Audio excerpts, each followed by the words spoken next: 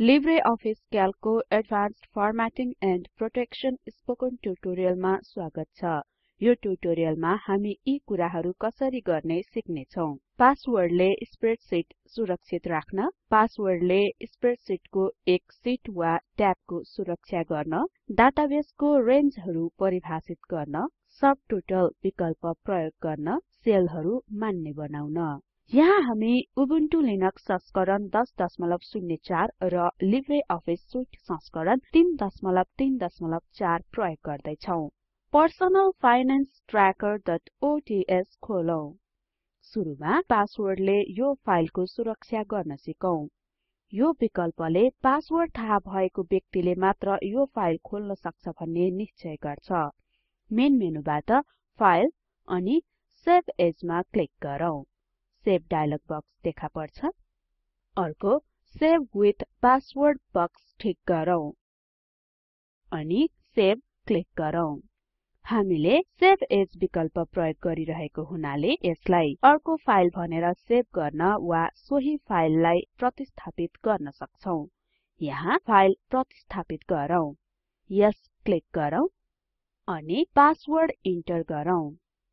र कन्फर्म बक्समा पनि पासवर्ड इन्टर गरौँ र ओके मा क्लिक गरौँ। त्यसपछि पर्सनल फाइनान्स trackerओडीएस बन्द गरौँ। अब हामी फेरि यो फाइल खोलौं र के भयो जाँचौं। इन्टर पासवर्ड डायलग बक्स देखा पर्छ। हामी यहाँ एउटा गलत पासवर्ड इन्टर गर्छौं। ओके क्लिक गरौँ। हामी गलत सन्देश पाउँछौं जसले पासवर्ड गलत छ भन्छ। अब सही पासवर्ड टाइप गरौँ। फाइल खुल्छ। कसरी हामी पासवर्ड विकल्प हटाउँछौ त? यो पनि सजिलै छ। हामी सेभ विथ पासवर्ड विकल्पको ठिक हटाउँछौ। पुनः हामीले सेभ विकल्प प्रयोग गरेको हुनाले हामी यसलाई अर्को फाइलमा सेभ गर्न वा सोही फाइललाई प्रतिस्थापित गर्न सक्छौ। यहाँ हामी फाइल प्रतिस्थापित गर्छौ। यस क्लिक गरौँ। यो फाइल बन्द गरौँ र खोलौं। फाइल खोल्नको लागि पासवर्ड चाहिदैन। यो फाइलको एक मात्र सिटलाई कसरी पासवर्डले सुरक्षा गर्ने सिकौं। मेनु बारबाट टुल्स प्रोटेक्ट डकुमेन्ट र सिटमा क्लिक गरौँ। प्रोटेक्ट सिट डायलग बक्स देखा पर्छ। सिटको रक्षा गर्न पहिले सेलेक्ट लक सेल्स र सेलेक्ट अनलक सेल्स विकल्पको ठिक हटाऊ। अब पासवर्ड फिल्डमा सानो अक्षरमा एबीसी इन्टर गरौँ र कन्फर्म फिल्डमा पुनः पासवर्ड इन्टर गरौँ। ओके क्लिक गरौँ। अब एउटा सेलको डाटा छान्ने र फेरबदल गर्ने प्रयास गरौँ। हामी कुनै पनि सेल छान्न सफल भएनौं। सिट फेरबदल गर्न सकिदैन। तर अन्य सिटहरुमा के हुन्छ? सिट 2 क्लिक गरौँ। एउटा सेल छानौं र सम्पादन गरौँ। क्याल्कले हामीलाई अन्य सिटको सेलहरुमा सम्पादन गर्न दिन्छ। हामी फेरि पहिलो सिटमा जाउँ। अब सिटलाई अनप्रोटेक्ट गरौँ। यो सजिलो छ। मेनु बारको टुल्स प्रोटेक्ट डकुमेन्ट र सिट क्लिक गरौँ। पासवर्ड माग्ने डायलग बक्स देखा पर्छ। सानो अक्षरमा एबीसी इन्टर गरौँ र ओके क्लिक गरौँ। हामी फेरि सेल छान्न सफल भयौं। रेन्जेस बारे सिकौं। तपाई स्प्रेडशीटमा सेलहरुको रेन्ज परिभाषित गर्न सक्नुहुन्छ र यसलाई डाटाबेसको रूपमा प्रयोग गर्न सक्नुहुन्छ। डाटाबेसको प्रत्येक पंक्तिले एउटा डाटाबेस रेकर्ड जनाउँछ र प्रत्येक पंक्तिको सेलले एउटा डाटाबेस फिल्ड जनाउँछ। तपाई कुनै पनि डाटाबेसमा गरे जस्तै रेन्जमा पनि सर्ट ग्रुप सर्च र हिसाब गर्न सक्नुहुन्छ। पर्सनल फाइनान्स trackerओडीएस मा एउटा डाटाबेस परिभाषित गरौँ र डाटा क्रममा राखौं। पहिले हामीलाई डाटाबेसमा चाहिने वस्तुहरु छानौं। एसएन देखि एकाउन्ट हेडिङ मुनिको सबै डाटा छानौं। हामीले डाटा कसरी छान्ने भनेर सिकिसकेका छौं।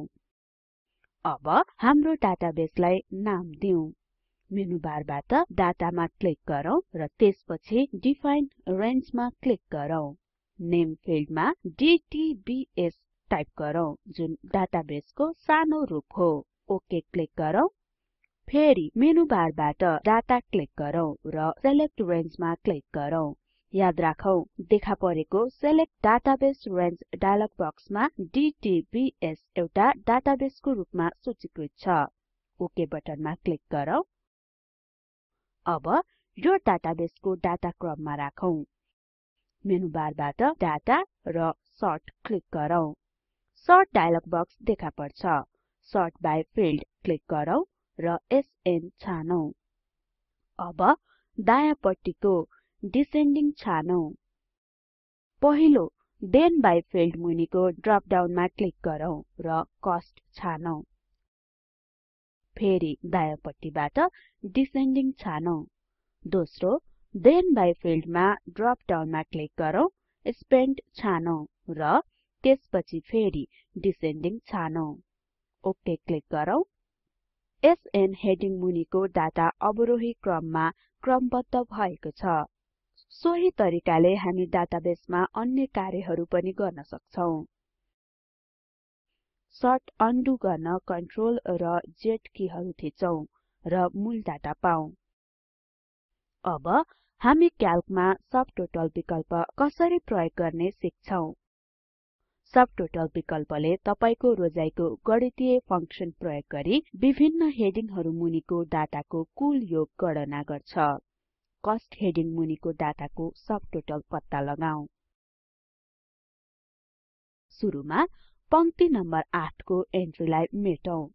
एसएन देखि एकाउन्ट सम्मको सबै डाटा छानौं। अर्को मेनु बारको डाटा र सबटोटल्स क्लिक गरौँ। देखा परेको सबटोटल्स डायलग बक्समा ग्रुप बाइ फिल्डबाट एसएन छानौं। यसले डाटालाई सिरियल नम्बरबाट समूहकृत गर्छ। अर्को क्याल्कुलेट सबटोटल्स फर फिल्डको कस्ट विकल्पमा क्लिक गरौँ। यसले आफ्नो मुनिको सबै एन्ट्रीहरूको योग गणना गर्छ। युज फंक्सन फिल्ड मुनिको सम छानौं र ओके क्लिक गरौँ। स्प्रेडशीटमा कस्ट हेडिङ मुनिको एन्ट्रीहरूको ग्रान्ड टोटल देखाइएको याद गरौँ। सिटको बायाँपट्टि तीन नयाँ ट्याबहरू छन्। 1 2 र 3 यी ट्याबहरूले डाटाको तीन भिन्न भ्यू देखाउँछ। ट्याब 1 मा क्लिक गरौँ। याद गरौँ कस्ट मुनिको डाटाको मात्र कुल योग देखाइएको छ। ट्याब 2 मा क्लिक गरौँ। कस्ट मुनिको डाटाको सँगै कुल योग देखाइएको छ। अब ट्याब 3 मा क्लिक गरौँ।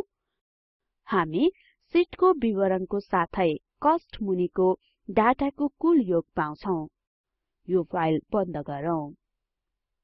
एउटा सेभ वा डिस्कार्ड चेन्जेस मेसेज सहितको डायलग बक्स देखा पर्छ। डिस्कार्ड क्लिक गरौँ। अब फाइल पुनः खोलौं। अब लिब्रे अफिस क्याल्कको भ्यालिडिटी विकल्प बारे सिक्छौं। भ्यालिडिटी विकल्पले स्प्रेडशीटमा डाटा मान्य बनाउँछ। यसो गर्न स्प्रेडशीटमा छानेका सेलहरूको लागि भ्यालिडेसन नियमहरू तोक्नु पर्छ उदाहरणको लागि पर्सनल फाइनान्स trackerओडीएस मा हामी भ्यालिडेसन प्रयोग गरी खरिद गरेका वस्तुहरूको भुक्तानी गर्ने माध्यम तोक्न सक्छौं। अब हामी हेडिङ डेट र यसको सामग्रीहरू हटाउँछौं। रिसिभ्ड हेडिङ सँगैको मोड अफ पेमेन्टको लागि अर्को हेडिङ एमओपी दिउँ। एमओपी हेडिङ मुनिको सेलहरू आइटम्स हेडिङ मुनिको डाटा एन्ट्रीहरूको भुक्तानी गर्ने माध्यम देखाउन प्रयोग गर्न सकिन्छ। मतलब salary, इलेक्ट्रिसिटी बिल्स र अन्य सामग्रीहरू। अब एमओपी हेडिङ तलको खाली सेलमा क्लिक गरौँ। यसमा salary भुक्तानीको माध्यम हुनेछ। अब मेनु बारबाट डेटा र भ्यालिडिटी क्लिक गरौँ। भ्यालिडिटी डायलग बक्स देखा पर्छ। क्राइटेरिया ट्याबमा क्लिक गरौँ। एलाउ फिल्ड ड्रप डाउनबाट लिस्टमा क्लिक गरौँ। एन्ट्रिज बक्स देखा पर्छ। छानेको सेलहरु मान्ने गराउँदा देखा पर्ने विकल्पहरु एन्टर गरौँ। सुरुको भुक्तानीको माध्यम इन क्याश टाइप गरौँ र त्यसपछि किबोर्डको इन्टर की थिचौं। अर्को दोस्रो भुक्तानीको माध्यम डिमान्ड ड्राफ्ट टाइप गरौँ। ओके क्लिक गरौँ। छानेको सेलहरु मान्ने भएका छन्। अब यसको छेउमा देखिएको डाउन एरो थिचौं। के तपाई एन्ट्रिज बक्समा हामीले इन्टर गरेको मोड अफ पेमेन्ट्स को विकल्पहरु देख्न सक्नुहुन्छ? तलको सेलहरु मान्ने बनाउन पहिले टुलबारको फर्म्याट पेन्ट ब्रश विकल्पमा क्लिक गरौँ। त्यसपछि बायाँपट्टिको माउस बटन थिचेर मान्ने सेल मुनिको सेलहरु छानौं र त्यसपछि सेलहरु सँगै तानौं। अब माउस बटन छोडौं। सबै छानेको सेलहरु एकै तरिकाले मान्ने भएका छन्।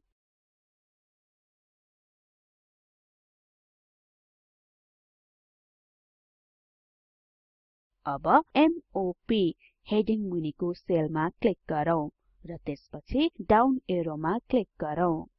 भुक्तानीको माध्यमका दुवै विकल्पहरु देखाइएका छन्। इन क्याश विकल्प छानौं। सोही तरिकाले भुक्तानीको आधारमा प्रत्येक मान्ने सेलमा क्याश वा डिमान्ड ड्राफ्ट छान्न सकिन्छ। यसरी हामी लिब्रे अफिस क्याल्कको स्पोकन ट्युटोरियलको अन्त्यमा आइपुगेका छौं। संक्षेपमा हामीले यी कसरी गर्ने सिक्यौं? पासवर्डले स्प्रेडशीट सुरक्षित राख्न पासवर्डले स्प्रेडशीटको एक सिट वा ट्याबको सुरक्षा गर्न डाटाबेसको रेन्जहरु कसरी परिभाषित गर्ने सब टोटल कसरी प्रयोग गर्ने सेलहरु कसरी मान्ने बनाउने? तलको लिंकमा उपलब्ध भिडियो हेर्नुहोस्। यसले स्पोकन ट्युटोरियल प्रोजेक्टको सार दिन्छ यदि तपाईको ब्यान्डविड्थ राम्रो छैन भने यसलाई डाउनलोड गरी हेर्न सक्नुहुन्छ। स्पोकन ट्युटोरियल प्रोजेक्ट टिमले स्पोकन ट्युटोरियल प्रयोग गरी कार्यशाला सञ्चालन गर्छ। अनलाइन टेस्ट पास गर्नेलाई प्रमाणपत्र प्रदान गर्छ। थप जानकारीको लागि कृपया spoken मा सम्पर्क गर्नुहोस्। Spoken tutorial project talk to a teacher प्रोजेक्टको एक भाग हो। यसलाई national mission on education through ICT MHRD Bharat सरकारको सहयोग रहेको छ। यस मिसन सम्बन्धी थप जानकारी तलको लिंकमा उपलब्ध छ। spoken tutorialorg intro. यो ट्युटोरियलमा मन्दिरा थापाको योगदान रहेको छ। सहभागिताको लागि धन्यवाद। नमस्कार।